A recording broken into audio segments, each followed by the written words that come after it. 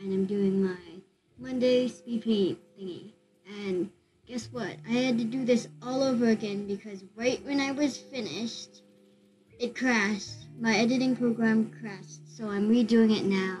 So anyway, what I'm doing is a speed paint of my OC Nightshade, and she's from the Wings of Fire series. If you, it's a book series, and if you don't know, it's basically where the dragons are the main characters and the humans are just on the side.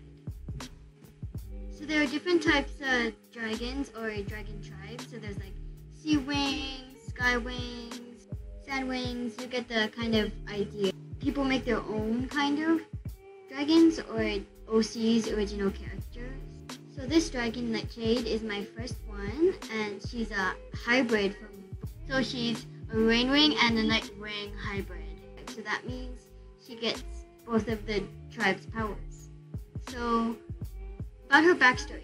She's still very young, and I haven't figured out most of her story or backstory. So, right now, she's living with her Nightwing dad in the Nightwing village in the rainforest. And she does all the normal activities that a normal Rainwing Dragonet would do.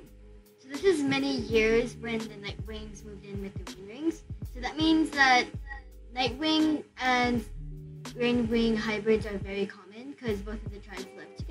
She excels at the Venom, Aiming, and Range class, and she loves to learn about and collect deadly flowers and fruits. I'm really proud of the name I gave her because Nightshade is a plant, so that's like the Rainwing side, but it's also very deadly and will kill you if you eat it.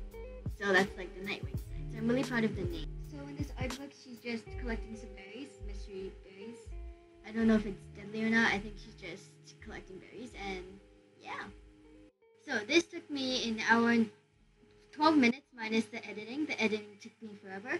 I sped this up 30 times, and the song, I don't know how to pronounce it, and I'm not gonna try. Okay, bye.